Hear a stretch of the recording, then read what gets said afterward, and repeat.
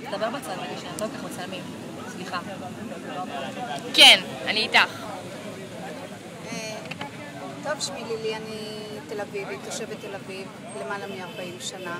אה, יותר נעים לי לדבר face to face מאשר דרך זה, אז אני אתקן מזה. אה, אז איפה הייתי? אמרתי שאחרי שהעולים האלה מתקבלים, הרעיון הוא לדייק מאוד במטרה. זאת אומרת, צריך, צריך שתהיה מטרה עיקרית. מה רוצים להשיג מכל זה? אז אולי שזה יתחיל בפיקוח על, על השכר דירה, שזה הדבר, זה דבר מיידי בעיניי שאפשר לעשות, כי עד שהרווחה תכניס את התנאים ואת החוקים ואת ההטבות נניח, זה יכול לקחת יותר זמן. אבל פיקוח על המחירים של שכר הדירה יכול להיות. ואז זה צריך ללכת לפי אזורים. יש אזורים יותר יקרים, יש אזורים פחות יקרים. אני מדברת בתוך תל אביב. וגם לפי מצב הדירה. לא ייתכן שאנחנו נקבל דירה שהיא ג'יפה, כן?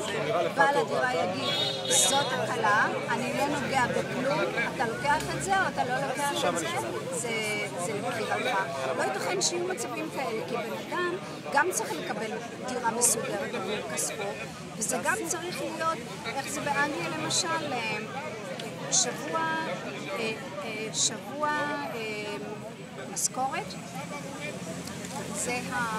זאת השכירות החודשית למעשה. זאת אומרת, שלושה שבועות אתה עובד בשביל רפאל ובשביל שאר הדברים, ושבוע אחד אתה עובד בשביל שכירות. אלה הפרופורציות. 25 אחוז, ואצלנו זה 50 אחוז. כן, אז אלה הפרופורציות, ככה זה צריך להיות. ושאי אפשר יהיה להעיף אותך מהחוזה, או להעלות את זה ב-100%, או להעלות את זה אפילו ב-50%, או להיות מאוים כל שנה. כל הזמן צריכים להיות מאוימים, אוי, בשנה הבאה הוא יעלה לי את השכר, שכר דירה. האיומים האלה פשוט לא יכולים לעבוד. שהנקודה צריכה להיות פיקוח על שכר דירה. פיקוח על שכר דירה כהתחלה, כדבר ראשון. ואחר כך כמובן צריך להתעסק עם הרווחה ולעזור לאימהות חד-הוריות שמגדלים ושאין להם את הדירות. בכלל, לטפל... אבל זה ההתחלה.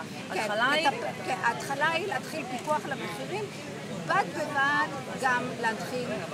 בד בבד להתחיל עם המצוקה של החד-הוריות ושל כל האנשים שאין להם דירות.